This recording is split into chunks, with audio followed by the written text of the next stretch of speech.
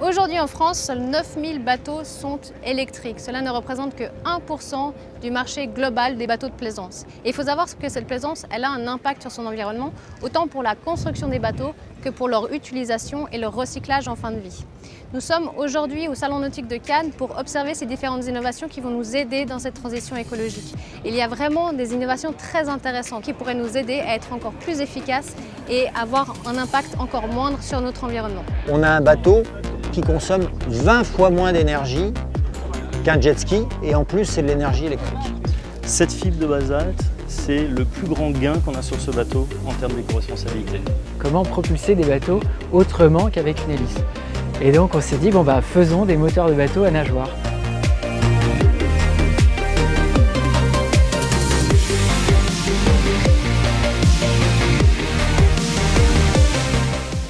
Vient d'arriver dans le carré 100% électrique du Salon Nautique de Cannes. De 430 exposants, il n'y a qu'une petite dizaine ici euh, d'exposants qui sont 100% électriques et on a vraiment eu du mal à les trouver. Mais on y est. Bonjour Bonjour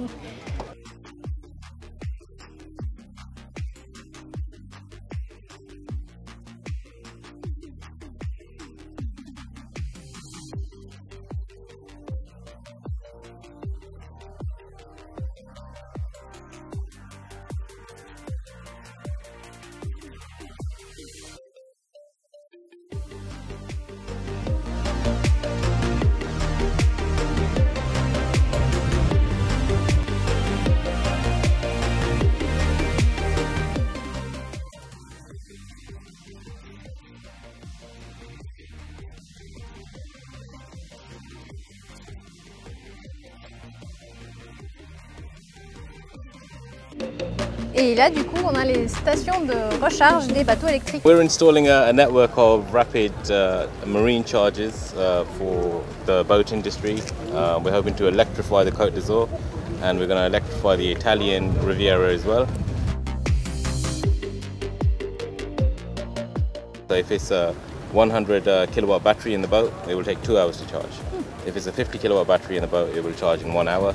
So do you see more and more demand for that kind of thing? Um, we, we believe that by installing the infrastructure, we're going to create the demand.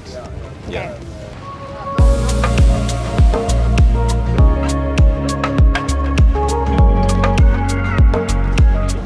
Là, on va essayer euh, comme un petit scooter des mers électriques, mais à foil. Donc, euh, normalement, à partir de 6, nœuds environ, on soulève de l'eau et on vole.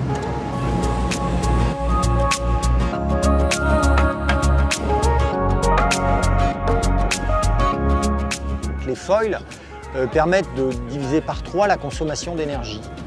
On a un bateau qui consomme 20 fois moins d'énergie qu'un jet ski et en plus c'est de l'énergie électrique.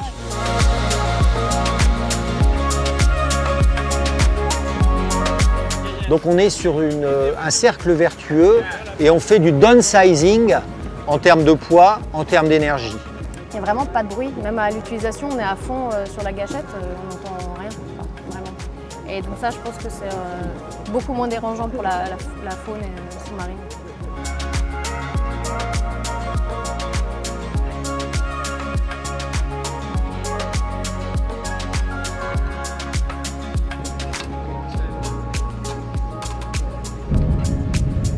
Ouais, là on a les mêmes fournisseurs que chez nous sur Energy Observer, c'est Solbian qui fait les panneaux solaires ici sur euh,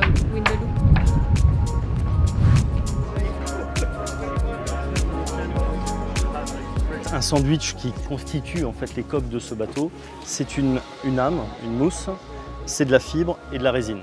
Alors l'âme de ce sandwich euh, est faite chez nous à partir de bouteilles de plastique recyclées qui sont fondues en billes et qui sont extrudées ensuite en pain de mousse.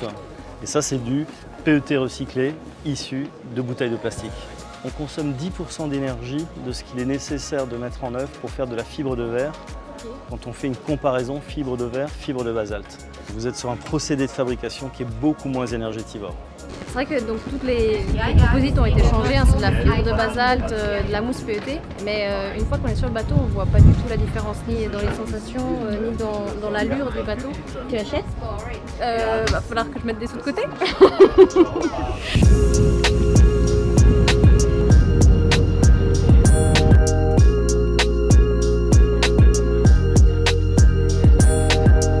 j'ai travaillé dans une société qui a développé des pompes industrielles à membrane ondulante. J'ai travaillé pendant 5 ans chez eux et je me suis dit mais comment l'adapter à un monde qui me passionne un peu plus, euh, l'océan? Comment propulser des bateaux autrement qu'avec une hélice? Et donc on s'est dit bon bah faisons des moteurs de bateau à nageoire. Et on s'est lancé il y a deux ans et aujourd'hui voici le premier prototype. C'est un moteur de bateau 5 chevaux, 2 kW pour des petites embarcations jusqu'à 3 tonnes.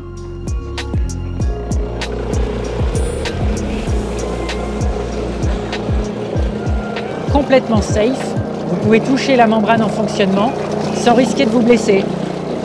Cette membrane en rouge ondule grâce à un électroaimant qui fait vibrer euh, le pourtour de la membrane et une onde secrète de la périphérie vers le centre. Donc le fluide est aspiré par ici et ressort par là. On a beaucoup moins de pièces mécaniques qu'un moteur électrique classique. On n'a pas de réducteur, pas de vilebrequin, donc beaucoup moins de pièces. Du fait qu'il n'y ait pas de pièces en rotation, eh bien on a aussi beaucoup moins de risques liés aux algues et aux boots. C'est-à-dire qu'on ne peut pas bloquer le moteur finalement avec euh, des algues ou des bouts qui viendraient s'enrouler autour.